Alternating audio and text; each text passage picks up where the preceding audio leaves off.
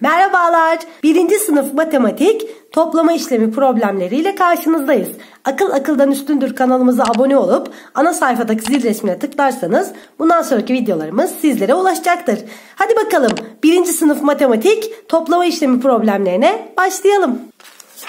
Evet toplama işlemi problemlerini yaparken öncelikle ne yapmalıyız? Sorumuzu güzelce okumalıyız. Sorumuzu anlayıp daha sonra ne yapacağımıza karar verip çözmeliyiz. Şimdi öncelikle sorumuzu okuyalım. Burada iki tane tabağımız var ve bize sorumuzda ne soruyor?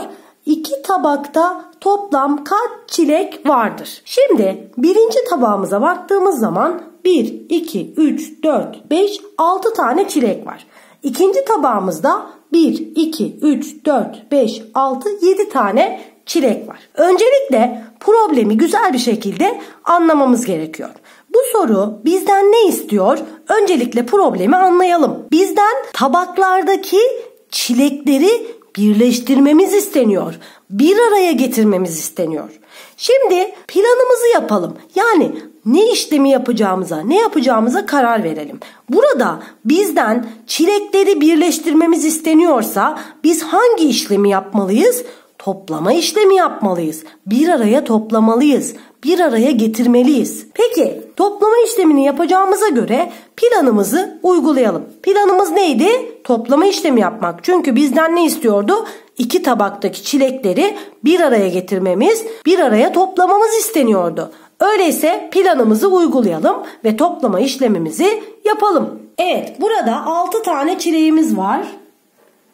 Burada da 7 tane çileğimiz var. Biz ne yapmalıyız?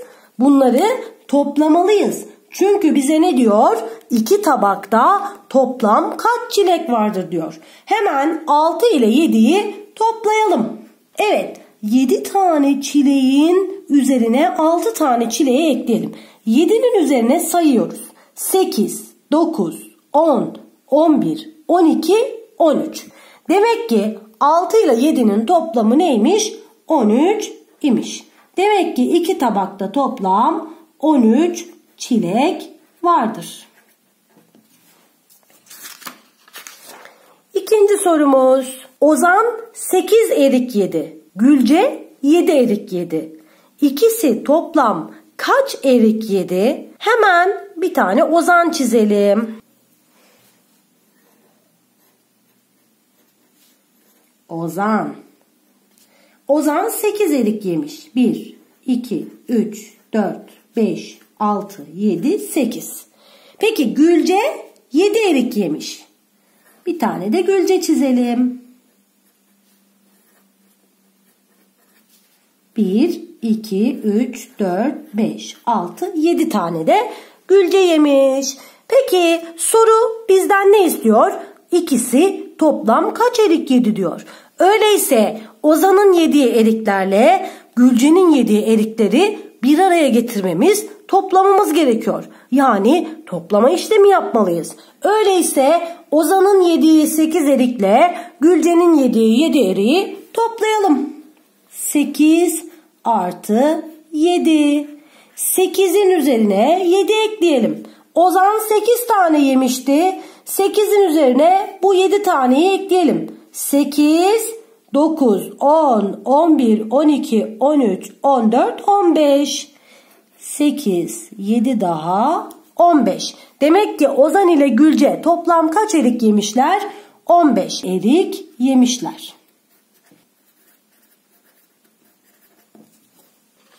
Üçüncü sorumuz. Merve'nin 9 cevizi vardı. Annesi 5 ceviz daha verdi. Merve'nin kaç cevizi oldu? Evet, Merve'nin 9 tane cevizi varmış. Annesi ona 5 ceviz daha vermiş. Merve'nin kaç cevizi oldu? Burada bizden ne istiyor? Merve'nin cevizlerine annesinin verdiği cevizleri eklememiz isteniyor. Yani burada yine toplama işlemi yapmamız isteniyor. Önce Merve'nin cevizlerini görelim. Merve diyelim. Çizelim Merve'yi. Merve'nin 9 cevizi varmış. 1, 2, 3, 4, 5, 6, 7, 8, 9. Peki annesi de Merve'ye kaç tane vermiş? 5 tane vermiş. Şimdi annesinin verdiği cevizleri de çizelim. 5 tane 1, 2, 3, 4, 5. Bunları ne yapacak? Merve'ye verecek. Yani Merve'nin cevizlerine 5 ceviz daha eklenecek. Öyleyse 9 cevize 5 cevize eklediğimiz zaman Merve'nin kaç cevizi olduğunu buluruz. 9 cevize 5 ceviz ekleyelim. 9'un üzerine 5 sayacağız. 9, 10, 11, 12, 13, 14. 14 cevizi oldu. Demek ki annesi 5 ceviz verince Merve'nin 14 cevizi olmuş. Dördüncü sorumuz. Ahmet dün 8 sayfa, bugün 9 sayfa kitap okudu. Ahmet toplam kaç sayfa kitap okudu? Ahmet dün 8 sayfa kitap okumuş, bugün de 9 sayfa kitap okumuş. O zaman Ahmet toplam kaç sayfa kitap okumuştur? Nasıl buluruz? 8 sayfaya 9 sayfayı ekleriz. 8 artı 9. Burada büyük olan sayımız 9'dur. Öyleyse 9'un üstüne 8 tane sayacağız. 9'un üzerine 1, 2, 3, 4, 5, 6, 7, 8 tane sayacağız çocuklar. 9'a 8 ekleyeceğiz. 9'un üzerine sayalım. 10, 11, 12, 13, 14, 15, 16, 17. Demek ki Ahmet toplam 17 sayfa kitap okudu. Beşinci sorumuza geçelim. Evet çocuklar burada da iki tane tabak var. Birinci tabağımızda erikler var. İkinci tabağımızda hiçbir şey yok. Masada iki tabak var. Birinci tabakta 15 erik var. İkinci tabakta erik yok. İki tabakta kaç erik var? Evet birinci tabakta 15 tane erik varmış. 15. Peki ikinci tabakta da hiç erik yok. Çocuklar hiç erik yoksa buna ne deriz? Sıfır erik deriz değil mi? Sıfır demek hiçbir şey demek. Evet şimdi çocuklar 15 erikle sıfır eriği bir araya getirmemiz isteniyor. Çünkü iki tabakta kaç erik var diyor. Öyleyse 15 tane eriğe ne yapmalıyız? 0 tane eriği eklemeliyiz. 15 artı 0. Çocuklar burada hiç erik yok değil mi? Yani 0 erik demek hiç erik demek. Hiç erik yok. Öyleyse 15'e 0 eklediğimizde yine ne olur? 15 olur değil mi çocuklar? 15 0 daha 15. Çünkü 0 demek hiçbir şey demek. O zaman hiçbir etkisi yok. 15 eriğe 0 ekleyince yine 15 erik olur. Demek ki iki tabakta 15 erik var. Altıncı sorumuz. Bir poşette 4 elma, elmalardan 8 fazla portakal vardır. Poşette toplam kaç meyve vardır? Şimdi çocuklar bunu çok iyi bir şekilde okuyup anlayalım. Neymiş? Bir poşette 4 tane elma varmış. Elmalardan 8 fazla portakal varmış. Şimdi çocuklar hemen ne yapalım? Elmaları çizelim. 4 tane elma varmış değil mi poşette? 1 2 3 4 Bunlar elmalar. 4 tane elma varmış. Elmalardan 8 fazla portakal varmış. Şimdi portakallar yazalım. Bakın elmalar kaç tane çocuklar? 4 tane. Peki portakallar elmalardan 8 fazlaymış. Öyleyse portakallar 4 taneden 8 tane daha fazla olacak. Yani elmaların sayısı neydi? 4. Portakallar neymiş? Elmaların sayısından 8 fazlaymış. O zaman 4'e 8 ekleyelim. Bakalım kaç tane portakal varmış. 8'in üzerine 4 sayalım çocuklar. 8'in üzerine 4 sayalım. 1, 2, 3, 4. 8'e 4 ekliyoruz. Hemen sayalım. 8, 9, 10, 11, 12. 12 portakal vardır. Portakalların sayısını bulduk. 12 taneymiş. Hemen çizelim. 1, 2, 3, 4, 5, 6, 7, 8, 9, 10, 11, 12. Portakalların sayısını bulduk. 12. Şimdi bize ne diyor? poşette toplam kaç meyve vardır diyor. 4 elma var 12 portakal var. Toplam kaç meyve var? Nasıl buluruz çocuklar? 4 ile 12'yi toplarız. Hemen 4 ile 12'yi toplayalım. Burada büyük olan sayımız 12. 12'yi yazdım.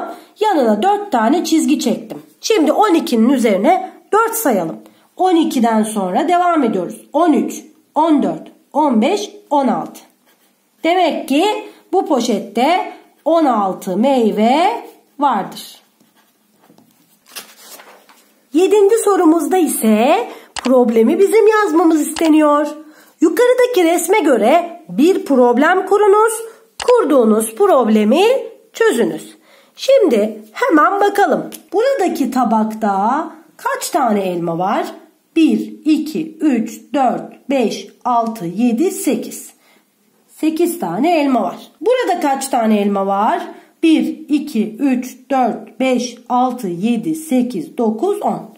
10 tane de burada var. Şimdi problemimizi oluşturmaya başlayalım. Çocuklar siz de videoyu durdurup bununla ilgili bir problem yazıp çözebilirsiniz.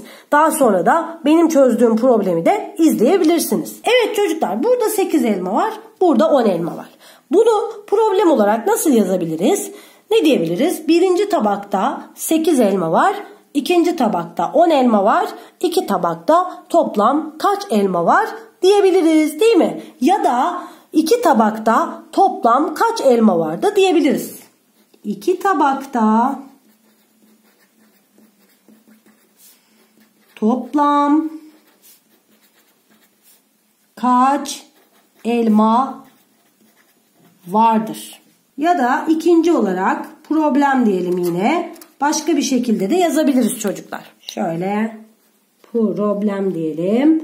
Bir tane daha yazabiliriz. Yani aynı şekilde bu sefer sayı belirterek de yazabiliriz. Birinci tabakta 8 virgül ikinci tabakta 10 elma vardır. İki tabakta toplam kaç elma vardır? Yani problemin cümlesi size kalmış. Önemli olan burada verilen bilgilerle problemi kurabilmeniz. Şimdi çözüm olarak ne diyeceğiz? 8 elma var, 10 elma var. Toplam kaç elma olduğunu istiyor. Öyleyse bir araya getireceğiz, toplayacağız. Toplama işlemi yapacağız. 8 artı 10. Buradaki büyük sayımız 10. O zaman 10 yazdım. Yanına 8 tane çizgi çekiyorum. 1, 2, 3, 4, 5, 6, 7, 8. 10 devam ediyorum. 11, 12, 13, 14, 15, 16, 17, 18. 18 elma vardır. Birinci sınıf matematik toplama işlemi problemleri videomuz burada sona erdi. Umarım faydalı olmuştur. Hepinize başarılar diliyorum. Bir başka videoda görüşmek üzere. Hoşçakalın.